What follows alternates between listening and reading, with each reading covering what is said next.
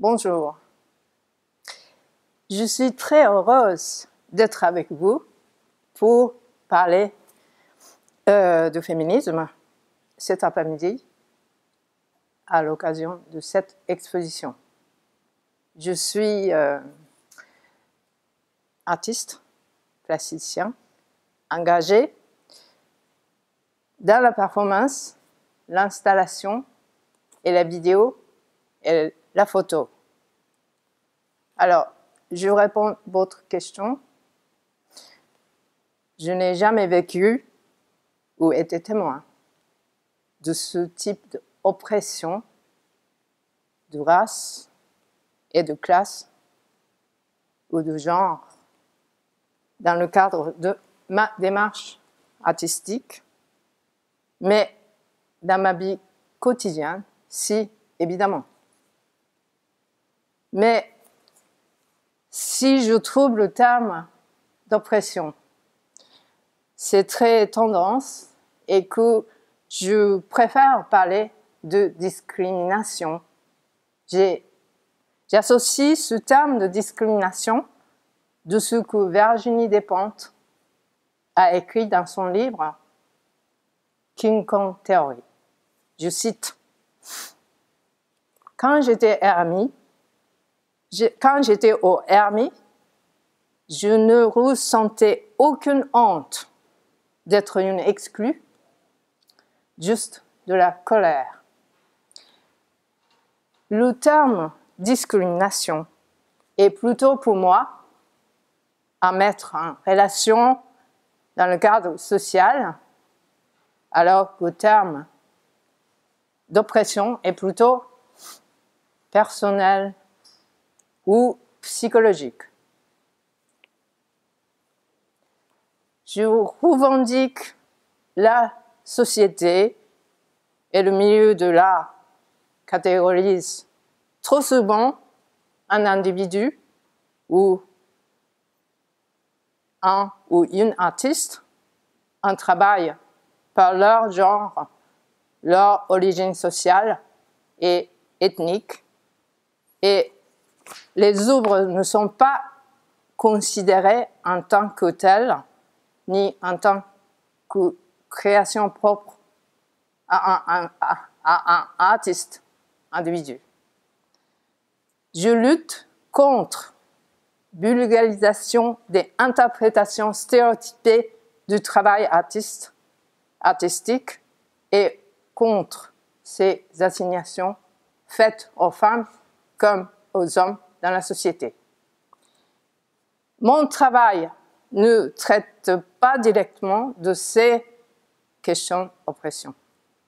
Mon travail ne parle pas directement de moi non plus, mais de ce qui m'intéresse, ce sont les rapports sociaux, la construction de l'altérité. Donc, j'ai créé les micro-événements en 1995 pour intervenir dans le champ social, culturel, politique, pour déstabiliser les représentations détourner les codes, bousculer les traditions. Pourquoi les micro-événements? Parce que j'ai voulu intervenir en termes autres que celui de performance, un terme qui s'interroge sur les relations entre individus et société. Je veux, à travers ces micro-événements, reconstruire des situations spécifiques de redéfinition de espace et de temps entre l'œuvre, le public et l'artiste.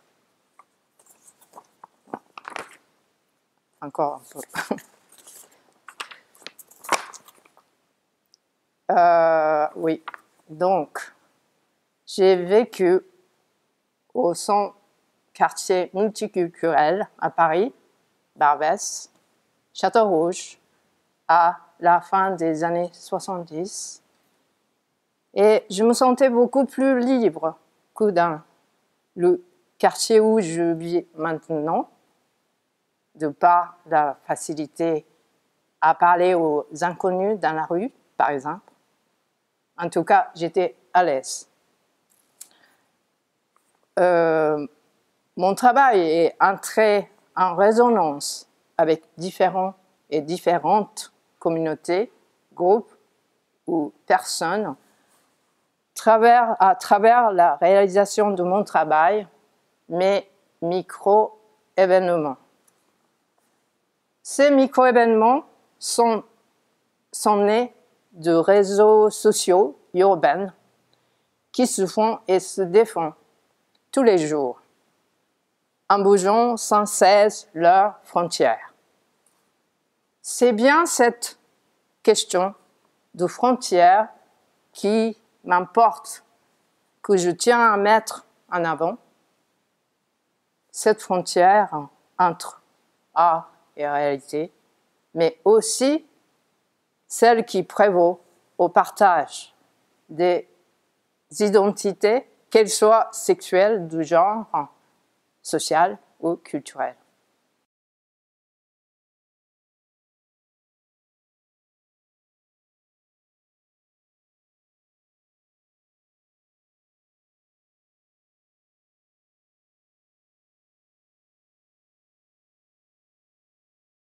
Oui, euh, je construis mon travail sous forme de micro-événements. Je questionne les différents types de pouvoir. Pouvoir, pouvoir de race, de genre et de classe. On vit dans, dans un système hiérarchisé par le pouvoir. Il n'y a pas de véritable communication entre deux ou plusieurs sphères opposées. Le système hiérarchisé est toujours à sens unique hommes et femmes, occidentaux et orientaux. Et ce n'est pas seulement ça, mais aussi pays en voie de développement et grande puissance hégémonique, racisme et antiracisme, colonialisme et post-colonialisme, etc. J'examine à travers mon travail les fonctionnements sociaux et politiques et je propose des solutions pour tenter de vivre autrement. J'ai vécu ce genre de sur la défensive lors de l'exposition La force de l'art en 2006 au Grand Palais. J'étais confrontée au pouvoir intervention de l'institution qui avait organisé cette exposition. Été invitée à participer à cette exposition, qui était la première triennale consacrée à l'art en France et à ses artistes. Elle était organisée par le ministère de Culture et de Communication.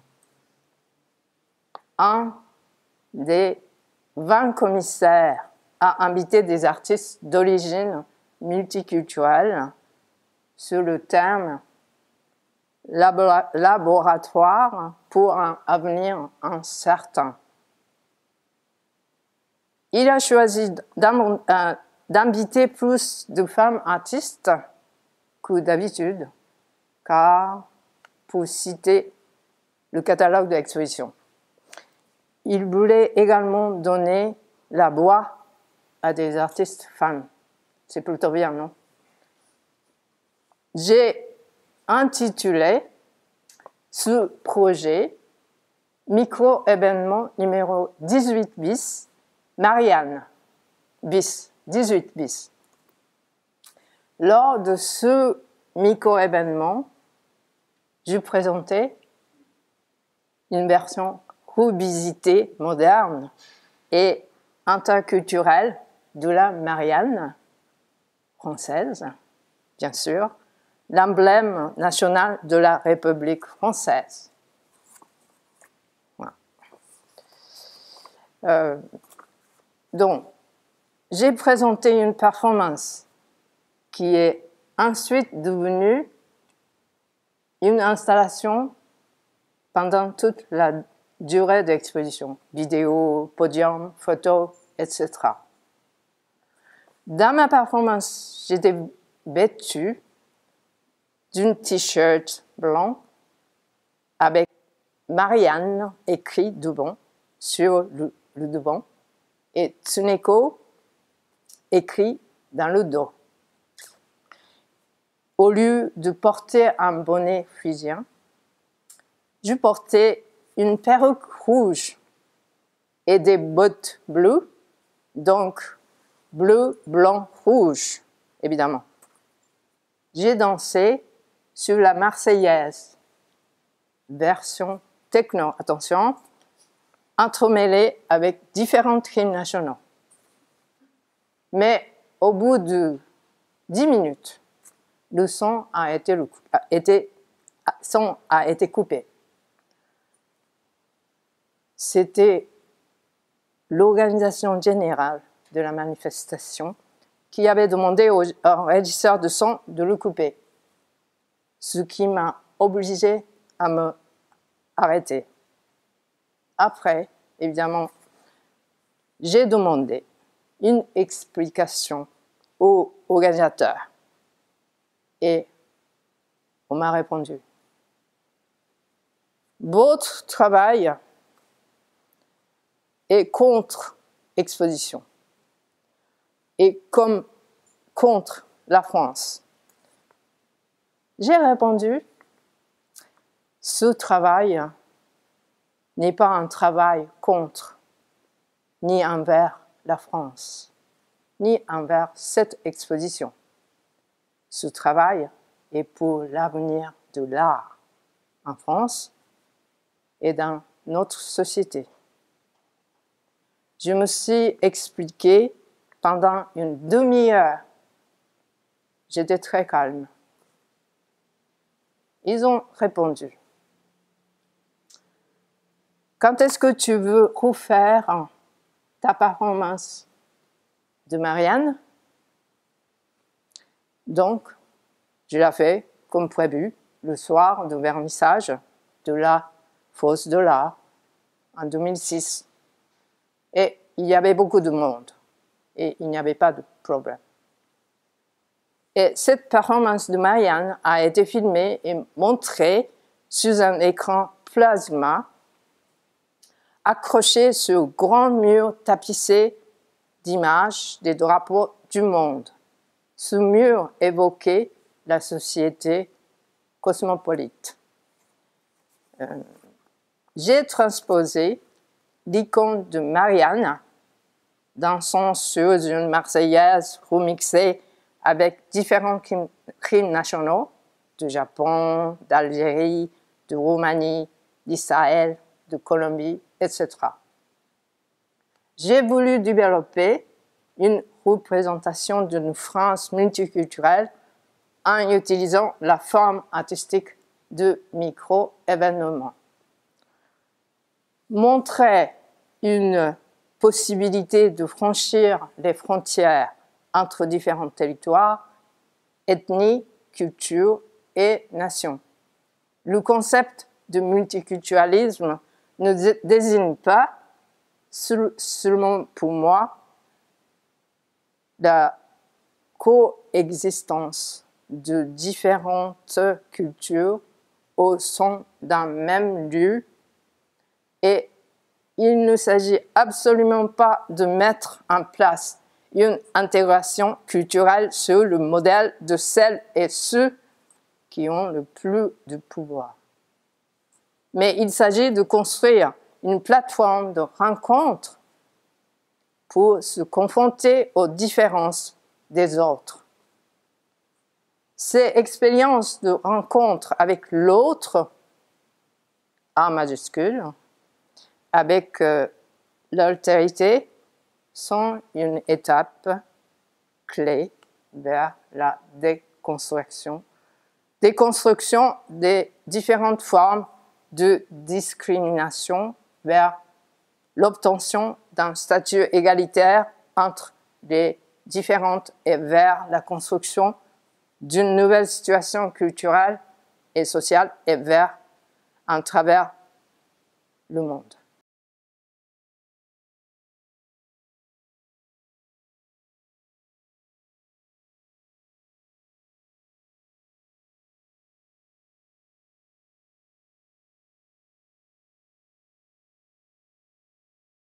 Ces chiffres reflètent les combats que les femmes doivent mener pour s'imposer comme artistes et survivre dans le milieu de, l'art contemporain en France.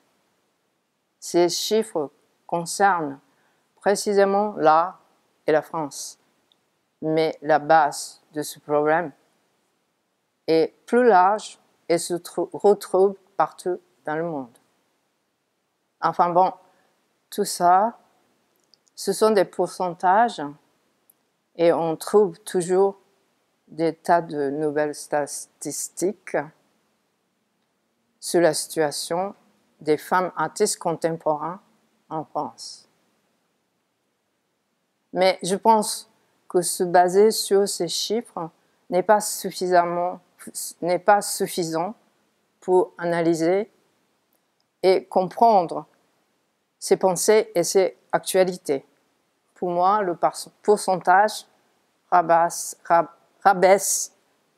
le problème à état d'abstraction et je préfère me baser sur des chiffres à échelle plus personnelle. Donc, je voulais citer par exemple mes expériences récentes à ce sujet. Dans le cadre exposition intitulée Légende, en 2016, au FRAC Franche-Comté, seulement, seulement trois artistes femmes et demi, car un groupe artiste était composé d'un artiste homme et d'une artiste femme, ont été invités parmi 18 artistes ces inégalités de genre sont considérables. Pour dire que pas des chiffres, on peut comprendre quelques tendances ou changements sur la situation des femmes artistes, mais il faut aller plus loin pour comprendre. Il faut se battre, ou sinon ce n'est pas la peine. La lutte pour égalité de droit, ce n'est pas des chiffres.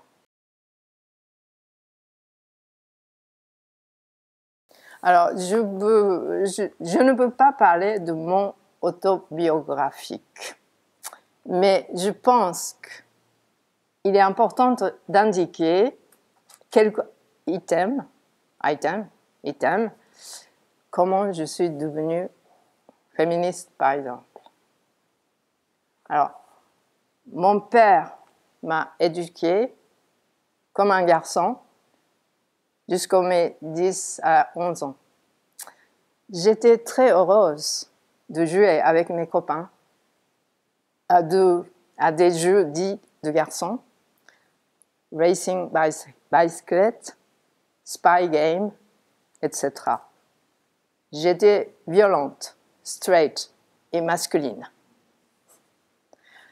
Quand j'ai décidé d'être artiste, euh, mon père m'a dit, euh, c'est bien que tu sois artiste, autrement tu auras pu finir dans l'armée rouge japonaise. Oh mon Dieu. Et récemment, lors euh, de la programmation vidéo et après au Centre Pompidou, j'ai vu un film intitulé La Navas de Mei et Fusako Shige, Shigenobu, Masao Adachi et 27 années sans image d'Éric Baudelaire. C'était bouleversant pour moi. Ce film d'histoire, des récits singuliers, de membre de l'armée rouge japonaise. J'ai raté toujours euh, d'avoir occasion de le voir, mais finalement, je l'ai vu et je suis très contente. Alors, je suis devenue artiste pour suivre mon désir et mes convictions. Je ne voulais pas faire d'autre chose que ça. Et puis, euh, je suis devenue féministe pour lutter contre les normes sociales, politiques et culturelles imposées aux femmes. Je ne peux pas supporter que la société m'impose ces normes. Ça, c'est important, très important pour moi.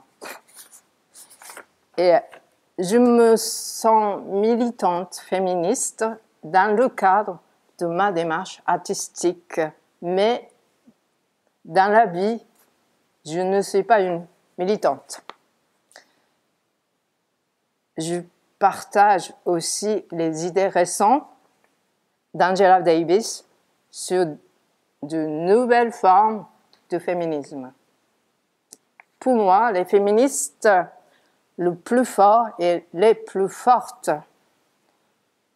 aujourd'hui sont celles et ceux qui luttent contre le racisme, le capitalisme, je veux dire capitalisme mondialisé, des idéologies associées au néolibéralisme et capitalisme individualisme, et l'homophobie, islamophobie,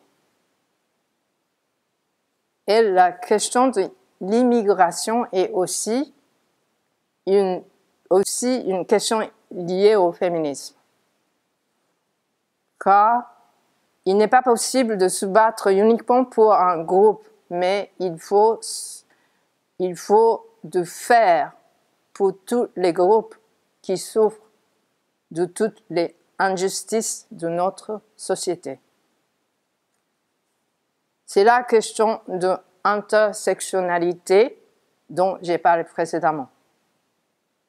Ces combats féministes bien, doivent, doivent transformer la société et j'essaye d'y contribuer par mon travail artistique, si c'est possible.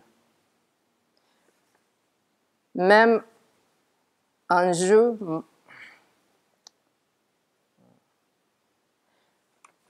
mettre, mettre un jeu pour mon corps dans l'espace public en tant, que, en tant que femme dans le cadre de mes performances est pour moi un acte politique. Dans mes micro-événements de mariage débutés en 2002, les mariages pour tous, c'est-à-dire les mariages LGBTQIA et hétéro. Je me marie à répétition avec un homme, une femme, qu'importe euh, le genre. Je peux en épouser un, une ou plusieurs j'ai établi mes propres modalités de mariage.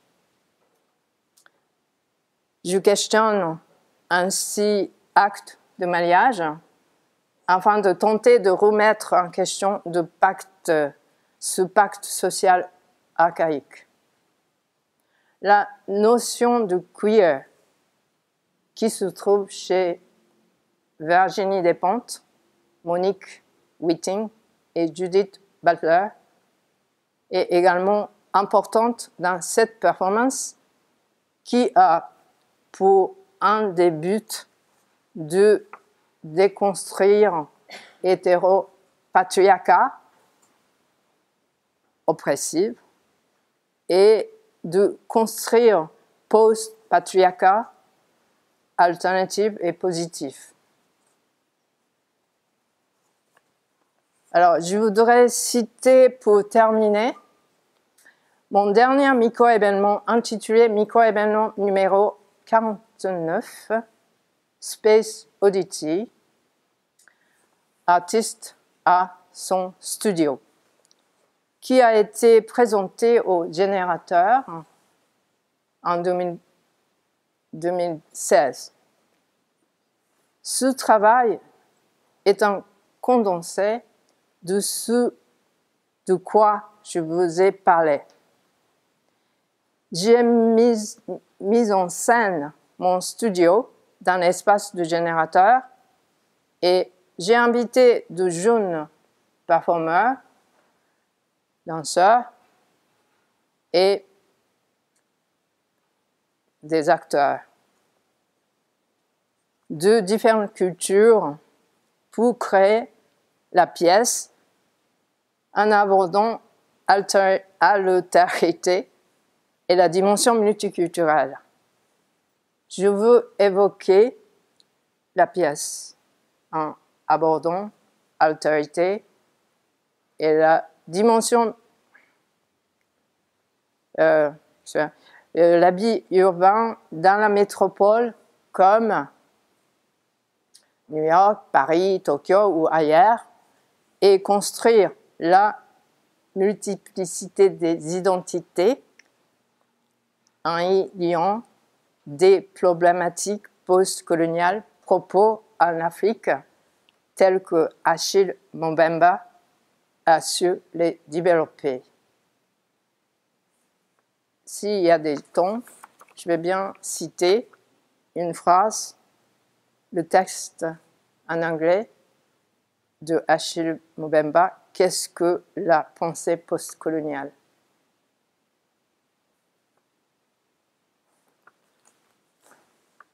But added to this is the influence of French thinker